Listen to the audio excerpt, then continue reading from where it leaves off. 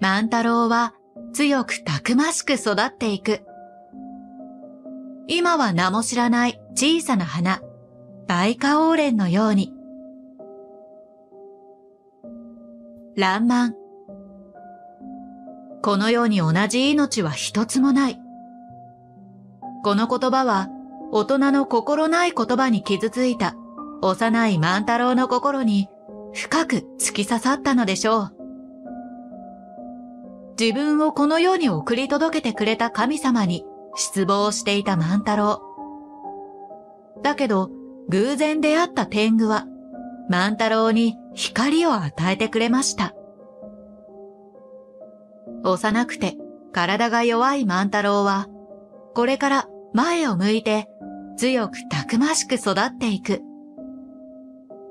母と見つけた小さな今は名も知らない花、バイカオーレンのように。第4話のお話は、季節は秋を迎え、また今年も酒造りの季節が訪れた。体の弱い万太郎は相変わらず草花に夢中になる子供。しかし、体が弱いために、近所の子供と遊ぶことは許されていない。遊べないことでお目付け役の竹雄と喧嘩をした万太郎は、怒って酒蔵の中に入ってしまう。そんな万太郎のことを心配した姉の綾は、酒蔵に足を踏み入れるが、女子は蔵に入ってはいけない、と、酒造りの最高責任者、当時から厳しく怒られてしまう。一方、病床の母、久の容体が思わしくなくて。第4話はこのようなお話になるようです。竹雄は主の滝さんから万太郎のお目付け役を命じられているので、体が弱いので同じ子供のように一緒に激しく遊ぶことを止めるのでしょうね。竹雄は子供だけど大人以上にとても真面目なところがありますから。滝さんの言いつけをきっちり守る。万太郎は面白くないでしょう。普通の子供はおとなしくしなさいと言ってもなかなか聞かないことはあるし。さらに万太郎はマイペースなところがあって好奇心旺盛ですから。竹雄はこれから先なかなか苦労しそうです。そして母、久さんの容体は悪くなっているようです。ナレーションでも大きな別れと言っていましたので、悲しいことが起こりそうです。第3話では、自分がなぜ生まれたのか、万太郎は神さんに聞きたかった。しかし彼は、神さんではなく天狗に出会います。天狗の正体は坂本龍馬ですが、不思議な感じで彼の前に登場しました。風と共に木から降り立った龍馬のことを、万太郎は天狗だと思い込む。天狗との出会いは彼の大きな転機になったようでした。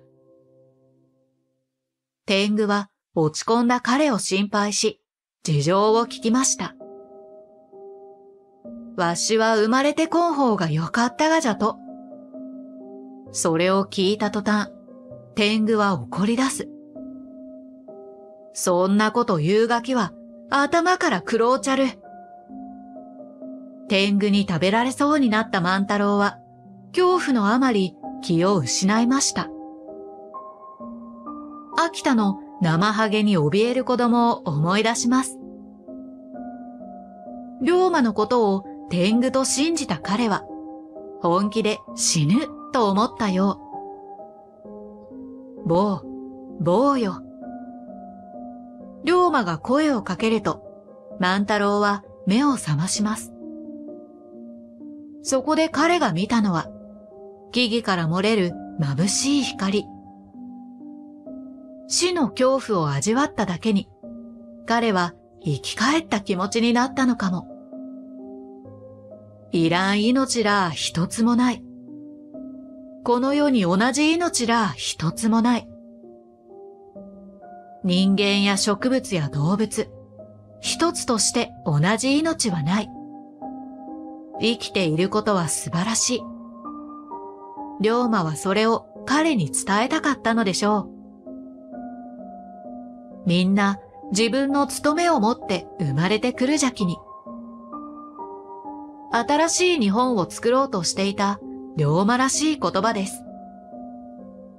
彼は新しい国づくりのために幕末を駆け抜けていきました。誰に命じられたことじゃない。己自身が決めてここにおるがじゃ。坂本龍馬はそんな思いで大きな仕事を成し遂げたのか。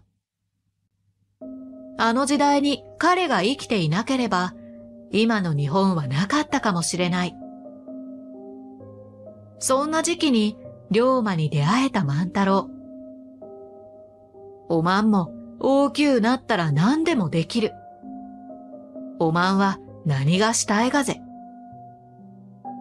心からやりたいことが見つかったとき、万太郎は自分の務めを果たしていくのですね。それは植物学者として研究を続けることなのでしょう。この時の出会いは彼の人生に大きく関わっていったようです。迎えが来て去ってしまう龍馬。いかんといて。彼はまだ聞きたいことがあったようです。そこへ久さんが、あやや竹雄と一緒に彼を探しに来ました。彼が出て行ってしまい、皆は必死に探していた様子。久さんは病気の体を押して、やっとここまでたどり着きます。ごめんなさい。ごめんなさい。万太郎は初めて後悔していました。天狗に出会った話をすると、久さんは信じてくれましたね。本当におったかもね。久さんはそこに咲いていた小さな花を見つけました。今は名前を知らないバイカオーレン。天狗が春を連れてきたがやろうね。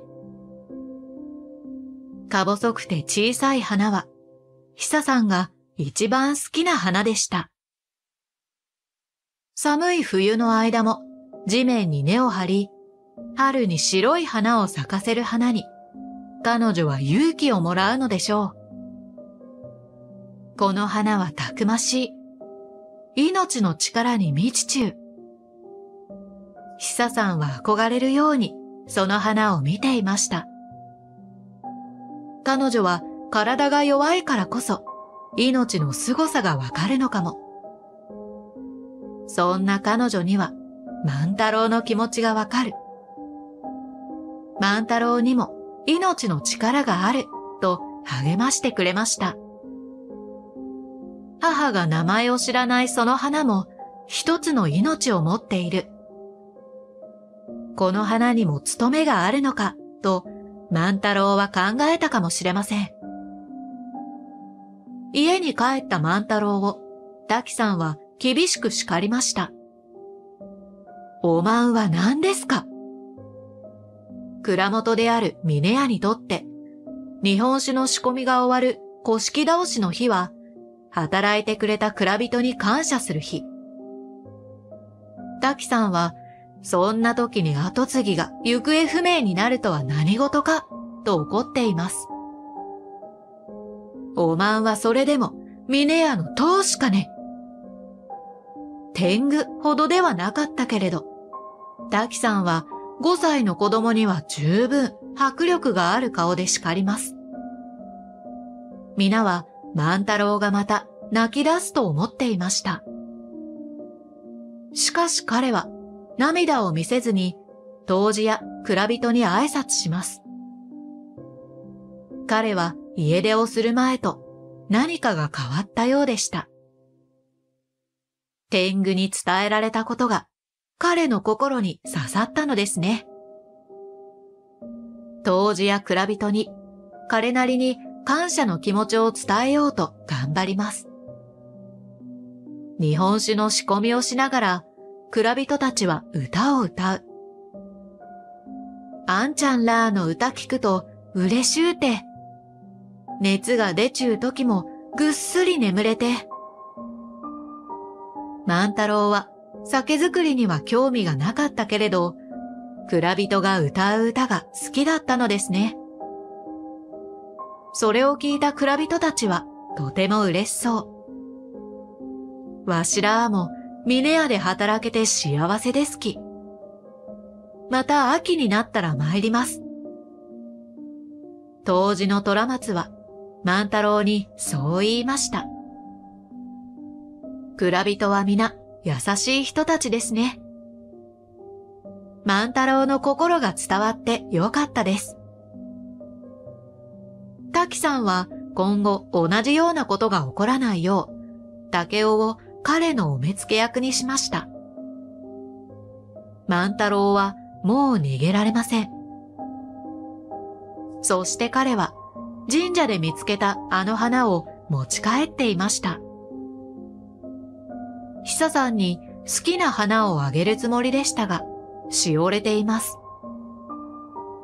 そして彼が思いついたのは、花をスケッチして再現する方法。